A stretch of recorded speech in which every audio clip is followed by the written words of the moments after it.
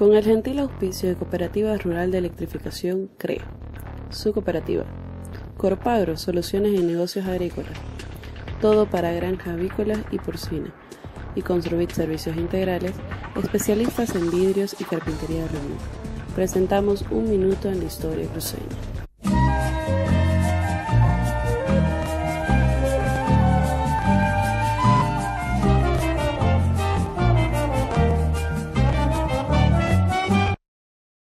¿Qué tal amigos? Sean ustedes bienvenidos a un minuto en la historia cruceña. En el programa de hoy vamos a continuar presentando personalidades importantes de la historia cruceña.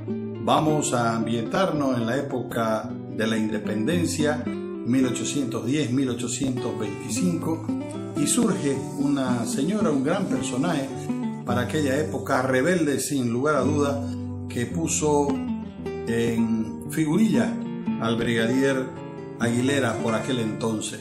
Vamos a hablar de la señora Panchita, Francisca López. Veamos qué es lo que este personaje hizo por aquel entonces. Francisca López, mujer de temple aguerrido, que se debe recordar con el cariño y el reconocimiento que solo los pueblos dignos saben inmortalizar los hombres y mujeres de sus héroes. Hablamos de doña Francisca Panchita. Ella sin temor alguno se atrevió a desafiar al engreído realista Brigadier Aguilera, dueño en esa época de, de Santa Cruz. Mediante bando había ordenado que las rayas de peinado de las patriotas, colocadas al lado izquierdo como insignia, quedaran eliminadas usando al medio de la cabeza. Un grupo de mujeres realistas le dijeron a Francisca López que peine su pelo, pues ella lo mantenía suelto.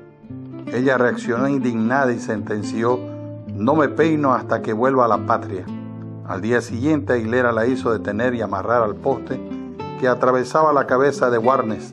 Sus gotas sanguinolentas rociaron la caballera de Francisca y exclamó, ahora sí, con esta agua ya puedo peinarme esta vez el tirano realista reconoció la valentía y puso en libertad a tan combativa mujer. Ana Barba y Francisca López son mujeres que tienen un sitio de honor en la historia de Bolivia, pero que a juzgar por los hechos no se las menciona. Ella no sabe que tiene COVID porque casi no tiene síntomas. Así contagió a su tía.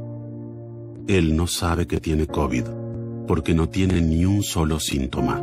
Así contagió a su abuelo. Ella no sabe que tiene COVID porque apenas sintió un resfrío y no tuvo fiebre. Así contagió a su mamá.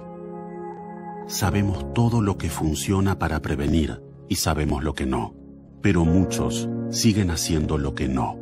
Falta menos, pero hay más coronavirus que nunca y no podemos relajarnos porque el virus no se relaja.